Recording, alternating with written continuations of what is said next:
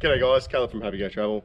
Today we're starting a new project. We're going to be installing a dual battery setup into our Toyota Fortuner. So come, have a look and let's see how we do it. It's no secret that I love a beer while we're out exploring, out touring. When we pull out to a beautiful beach. So it's definitely time that we've got a dual battery system. You know what you're thinking. How have I gone all this time without running power to the fridge constantly? So I will admit I've got a couple of tricks. With the old Engel, I do always run it a little bit colder, so it's colder than what I want. And if I'm going away for the night, I was always throwing frozen water bottles in it.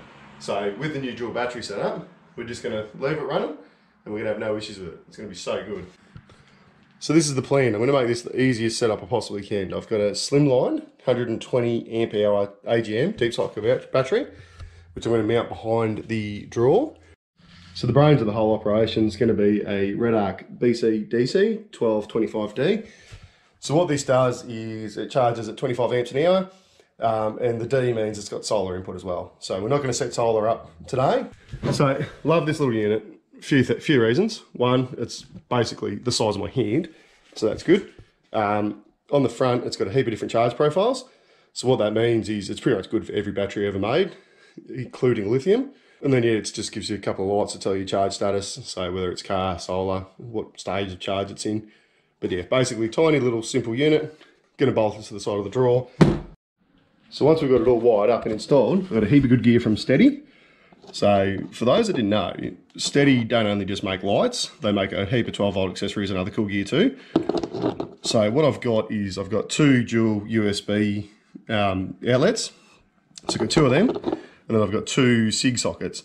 So the cool thing about the SIG sockets, I don't know if you can see that, but they're the marine ones, so they've got a lock point. So when you put your fridge cord in, your SIG cord in, it actually locks into place. So you don't have to worry about it falling out on rough tracks. So then I've got some holders for them. I've got a dual holder and two singles. So what I'm going to do is I'm going to put one single at the back of the drawer with a SIG socket in for the fridge. I'm going to put another single on the other side of the drawer. So one of the kids in the back can have power to their tablet. And then this dual one, I'm going to mount it down on the side of the drawer in here. And I'll just put a SIG and a dual USB so that we can charge anything along the way. Of course, if Stedi's involved, how could I not get some lights? So I've got some of Stedi's surface lights, surface mount lights. So as you can see, it's tiny. And what I'm gonna do is I'm gonna mount them on the back of the tailgate. A little switch left over. So let's see if I can pop that out and put a switch in it. So when I've got the fridge extended and out, the little light will just be like a down light. So it should be a work light for us. So yeah, I'm hoping that'll be a good thing. In the back of the car, as you can see. So back of the drawer, fridge is just extended out. So this is what I'm going to do, is the battery is going to sit in here. So if I just sit down on the floor, and then I'll strap it, secure it to the back of the drawer. We've got a heap of high tensile bolts, which lock this back panel into place, which hold it all together. So what I did is I went down to the bolt shop, and I got a couple of eye bolts, which I'm going to take some high tensile bolts out, and I'm to put these eye bolts in, and then I'm going to use these straps to hold the battery in place. I do with the BCDC charger, you're just going to grab it, I'm going to mount it just down there, in behind the drawer, so you can still see all the lights. Once it's wired in, we shouldn't need to touch it again, so it should be right. You can see I've got some earth points there, which I can just earth it straight to the chassis. So it should be pretty straightforward. The cool thing that should be about this, we have a battery sitting here, we have one port there, one port around here for the fridge, then we'll have uh, another port up there. So it's going to need minimal wiring. The longest wire will be the wire to the BCDC from the front, so then everything else is going to be in close proximity to the battery. So it should be pretty simple, straightforward to wire, which is what we're aiming for.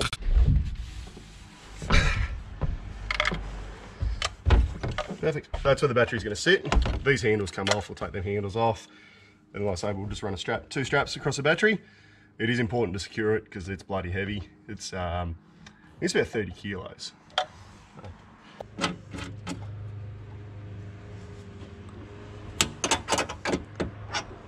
So, as you can see, I've got four eye bolts installed in the back of the drawer. I've cut a scrap of rubber that I had lying around. So I'm gonna put that rubber in there and then that's gonna protect the back of the battery against the drawer. And then I've got these straps which I went and bought. Thread them through the eye bolts. And then that is what's gonna keep the battery in place.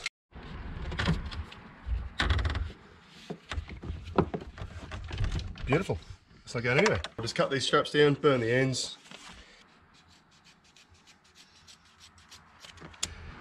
If I ever need to thread them back through the cam buckle, it's easy.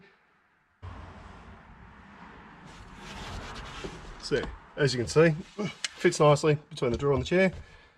Just managed to squeeze it in there. Perfect. So, dual USB set up in the holder.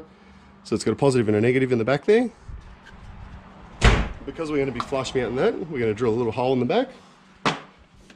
And that'll give us the ability to run the wires through the back of it. So little pilot hole.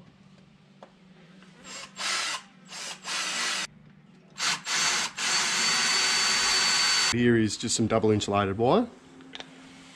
So pilot hole in the back will be sufficient enough to get it through. Now wiring.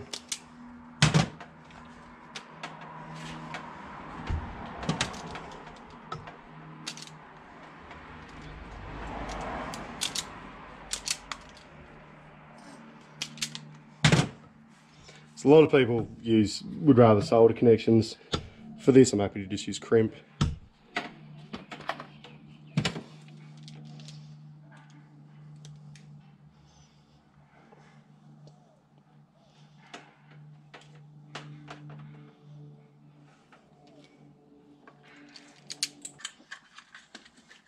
just do all this so you can see. So you've got a negative and a positive connection. Uh, negative is going to be a white wire in this instance. Just tuck it back in.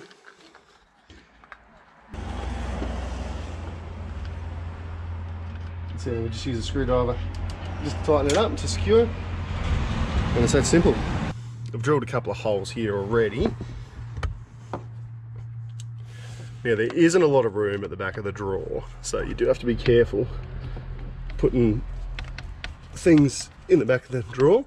I will just use this little self-tapping screw in the back of the drawer and screw it into place. So this one here is the dual USB. So we got the Redarc BCDC 1225D. So the D just means it's got solar. Now, I'll just quickly run through the wiring with you. So when you get one of these Red Redarc um, BCDC chargers brand new, you've normally got a heap extra wire on it. So you'll have to excuse my wiring will look a bit different to others because it's it's um, yeah a bit shorter. So brand new ones got about a foot foot of wire on the end of it. But anyway, this it is what it is. So what I did is I got a I went and bought a hydraulic crimper to crimp the connections and we will solder them as well. So I'm going to put a little bit of solder in each as Red Redarc recommends. So they want you to crimp it to make a mechanical join and then solder it for an electrical join. So red wire. Now, the way you wire it will determine the profile of charge. So for us, the orange wire doesn't need to be connected. The blue wire will be connected to ignition because we've got a smart alternator in the Fortuner. Green wire will be run a LED, like a little LED LED to tell you it's working. I'm not going to worry about that right now. Solar, I've just capped the end of that currently, so we will eventually hook solar up to it, but not right now. Now the brown wire fused with a, um, I think they call them a MIDI fuse. One of these little guys, little 40 amp hour fuse. So now the brown wire will go to the auxiliary battery. So that's power out. The red wire is power in from the vehicle's battery. Blue wire to ignition, yellow wire solar, not going to connect that. Black wire earth. So it's that easy. It's just four wires. So, and it's important to say that the red wire from the vehicle's battery, that'll be fused at the battery as well, the vehicle battery. So let's finish the joints, get it hooked up, and let's see if it works. So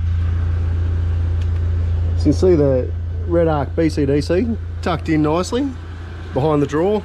Actually, let me just, just grab this torch. Let's grab my work light. You've got an A profile. The car is on, so it's got vehicle and a flashing stage light. Got the Stedi outlets either side of the back of the drawer. This one here is dual USB for the kids. So this one's SIG socket, we'll run the fridge off that one. What I did with this one is I've actually run some thicker gauge wire, so for the fridge. So I just, yeah, wanted, wanted thicker wire for the fridge. Um, the battery, I ended up just crossing the straps over just because I set batter on the corner of the battery. But yeah, as you can see, nice and easy. The battery sits in there on its rubber mat, got its rubber backing, ended up going with a fuse block. So we've got power in and then a heap of fuses and then it's got a earth bus bar on it as well. So it make it nice easy to wire. And then around here, we've got 12 volt SIG and dual USB again.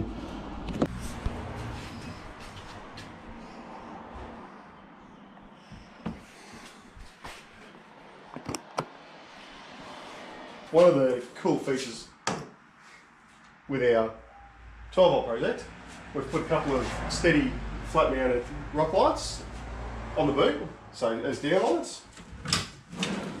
And that will act as lighting when it pitches at them. So as you can see the table's lit up.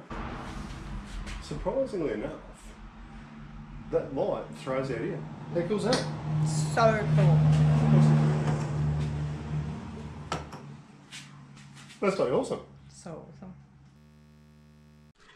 The last piece of the puzzle is this battery monitor. So I've got an iDrive BM2 um, battery monitor. So it's a Bluetooth battery monitor.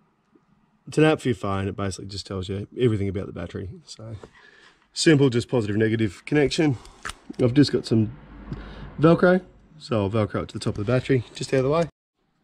So there we have it. Just tucked on top of the battery out of the way.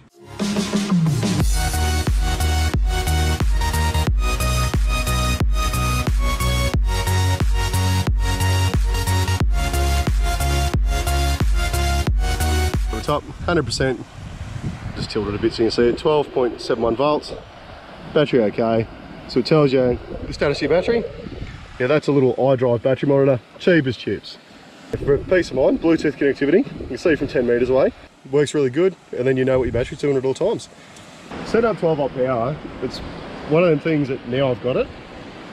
I wish I set it up sooner. Like, to be able to have light, cold beer, not as much in the fridge right now, but it's still running. I'm cooking dinner. I know beer is going to be cold. I've got my beautiful little work lights. Look, it's just amazing how much light these things put out. I've got to show you this, right? So, admittedly, the awning light is still on. So I've had a light in this awning forever and just never used it because I didn't have power. Have all that? That's bloody unbelievable. It's so good. So what does a Pro Deal like this cost? Well, it wasn't cheap, I can tell you that. But it is worth every cent. So the Red Redarc BCDC 1225 was around 600. The battery monitor was about 60. The battery itself was uh, 330. When you look at all the wiring, the outlets, I think all the Stedi gear, like the outlets, the lights, uh, probably was about 150 bucks there. The thing that catches you out is stuff like the fuse block, the conduit, the wires. So all that stuff, whilst it might only be three or four bucks a metre, it all stacks up pretty quickly. Um, I'll put an exact cost up on the screen anyway, but miscellaneous, whatever you think you're going to spend, just double it. now, I know what you're thinking. You're thinking, surely I can do it for cheaper. I thought the same thing. I really did. But in all honesty, when you start looking around, you want to be able to rely on your gear. And when you think about things like battery chargers and batteries and, and all that, is I suppose when you're in the middle of nowhere, you want to know that it's going to work. You want to guarantee that that battery's going to hold the power. You want to guarantee that the charger is going to charge the battery. Um, you know, uh, for me, spending extra money on things like having the ability to put solar in, even though I didn't connect it, I, I still think that it's one of them things that later on down the track I will want to do, and I would have kicked myself if I didn't do it. So think about what you want to do now, think about what you want to do in the future, and just weigh up the odds from there. Overall, very happy with how it turned out. Very glad I did it, and wouldn't do it anyway any different. It's very important to note I am by no means a qualified auto lecky. If you are in doubt and you don't know your capabilities or you doubt your capabilities on it, go and speak to someone who is a qualified lecky. Go and speak to someone that can give you advice. And then of course if you still doubt yourself, just pay them to do the job. I wouldn't say this is the hardest project I've ever done, There's definitely a few swear words. For me, this project was all about being simple, so I think we achieved that. I think anyone that can has a basic understanding of wiring, anyone that can use hand tools, it's pretty straightforward. If you can read the instructions on how to wire the BCDC, it's all pretty simple. So have a go. If you've got any questions, comment them below. I'll do my best to answer them. Like I say, if you're in doubt, talk to an auto lecky. They'll be able to help you out. Thanks for watching, guys. Cheers.